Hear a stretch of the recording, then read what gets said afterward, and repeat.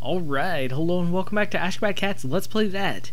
Now you see those sparkles kind of floating down in the background. Did you notice that on the startup, when it was all zeros, when it was all zeros, that you could actually see all the sparkles coming down? So this is Imago. Let's give it a go. And um, well, okay. Let's talk about the controls. Up, down, left, right, shoot, B, C. Now, okay. So we're just shooting. Now, uh, I bring up those controls just to give a contrast to what the controls could be. The controls could be a trackpad. Now, why why would I say a trackpad for a game such as this? I'm not entirely sure. Now, what's kind of interesting, though, is that it's structured a little bit like a shoot 'em up. Like, every now and again, you'll shoot one of the mushroom- I'm, I'm sorry, imagination plants, and then you'll have enemies come down at you like this is Galaga or something. Now, they seem to mysteriously kill you, maybe they're shooting at you or something, I'm not entirely sure. Okay, so I've been quiet long enough. This game is Centipede with shoot 'em up elements added. However, there is one notable change, and I did bring up the controls for a reason. The controls are actually kind of sensible now. Now, back in the past, Centipede used a trackball, and like, that was fun because you could move across the screen literally as fast as you could move the trackball. But there's such a thing as too fast, and you could certainly move that too fast. Although, speaking of a fun interface control option that's sort of like that, have you ever played Space Invaders Extreme for the Nintendo DS? Uh, that had a special optional $40, I might add, paddle controller that you could use to move left and right as fast as possible. And if you wanted to set any sweet high score, why are Jeez, they keep ambushing me from behind. That's that's pretty cheap. And there's no continue function. But again, there was no continue function in Centipede, so I'm not actually all that surprised. Well, at least the name entry screen works normally. I mean, you can hear me kind of fight against it. It feels like your cursor moves a little bit too slowly. Space, the limitless unknown dimension awaiting the advent of mankind. That's right. We are in space. We're totally not inside of a tree. Or, if we are in a tree, we are in a space tree. Because this is certainly not Centipede, and they want you to know that. That being said, this does offer some advantages, I guess, over Centipede. I mean, I will say that, like, there are a lot of cheap deaths. And I mean, Centipede, like, yeah, you died a lot, it was a hard game, but I kind of feel like they were a bit more upfront about it. They weren't necessarily more fair, because I'm pretty sure in Centipede, like, the enemies that came at you moved at, like, the speed of light. Now, technically, you too could move at the speed of light because of the trackball controller, but really, you kind of couldn't. And so, well, okay, you could move at the speed of light, but your human reflexes, your mere human body, could not keep up with that. And so, you you would have to kind of react really fast. This game, the enemies come at you slower, which I appreciate, but then they, they seem to weirdly explode and make random danger zones, and that I do not appreciate. Or maybe they warp in, but if they warp in where you are, then you just die, and that's that's not appreciated. That's like a little too cheap, you know? Well, I guess the question is, how do you how do you want your game to be cheap? Do you want your game to be like unpredictable cheap, or do you want your game to be like fast reflexes cheap? And uh, I mean, there's no one right answer. At least that's what the makers of Imago were uh, betting on when they made this game. Uh, one thing that's kind of nice, though, is it doesn't seem like the mushrooms can be made inside of your little play area. Well, actually, that's kind of interesting. Um, in Centipede, like, the Centipede itself makes mushrooms in a process that's, quite frankly, a little bit baffling and never, never explained, and for good reason, too, because I don't, I don't think centipedes make mushrooms. But, uh, oh no, never mind. As you shoot them, you do kind of turn them into mushrooms. This is the most confusing amalgamation of Galaga and Centipedes I've ever played.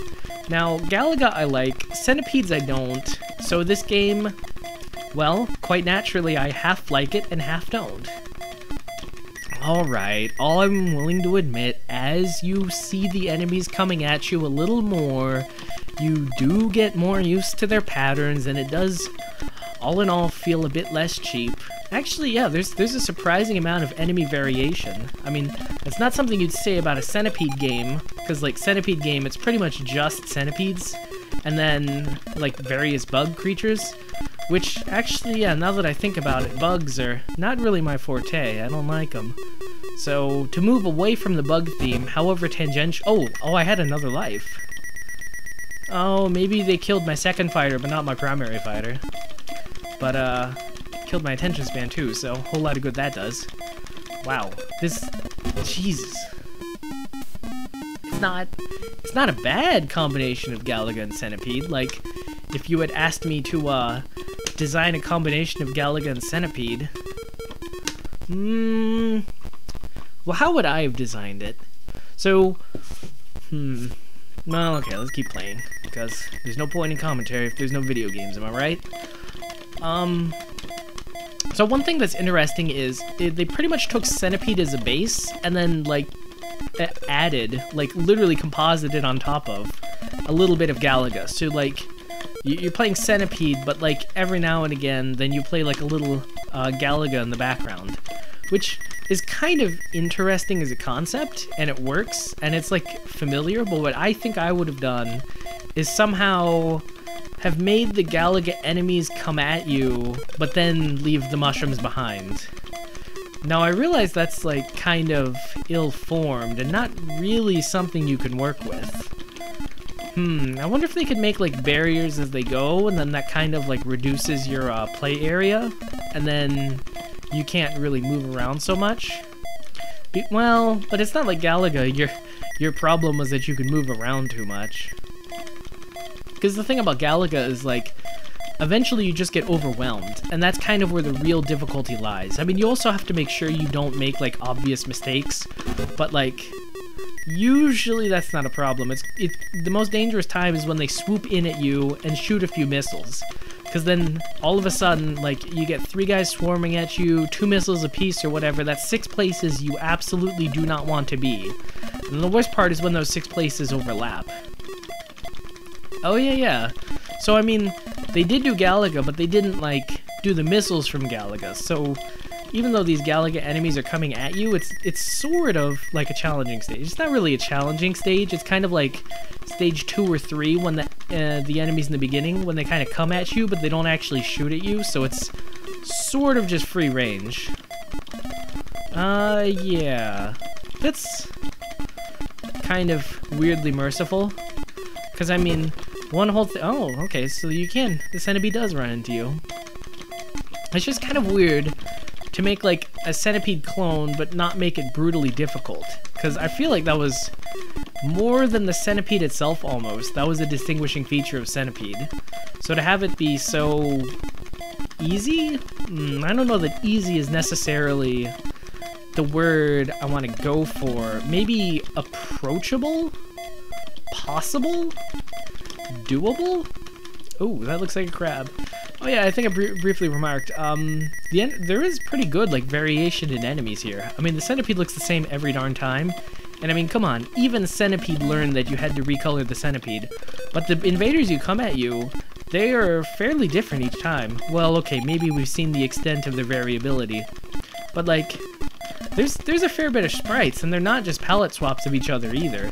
I mean, that's not taking that's taking like a fair amount of memory. Easy peasy. This game is so easy. Jeez. Okay.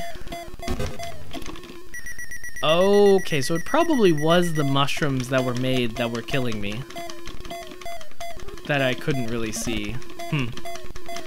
That is that is weird though. Like they make the mushrooms and they kind of cut off your mobility, and then that kind of impacts the Galaga thing. Well, I can't really call this a clone. This is more like a fusion. So,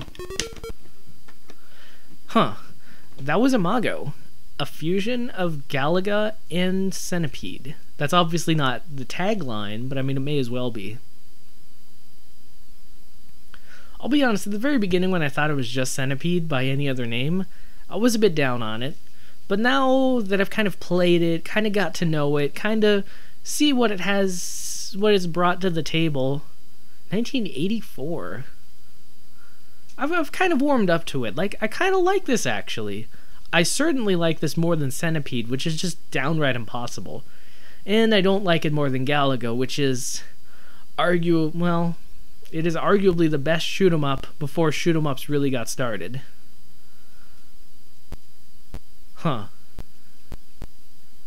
Well, I mean, it's it's kind of weird to think, but sometimes you, you combine two things and it becomes just as good as the average of the two things. And like maybe that doesn't sound immediately appealing, but when one of those things is Galaga, which is amazing, then maybe maybe making a very good game is is all you need.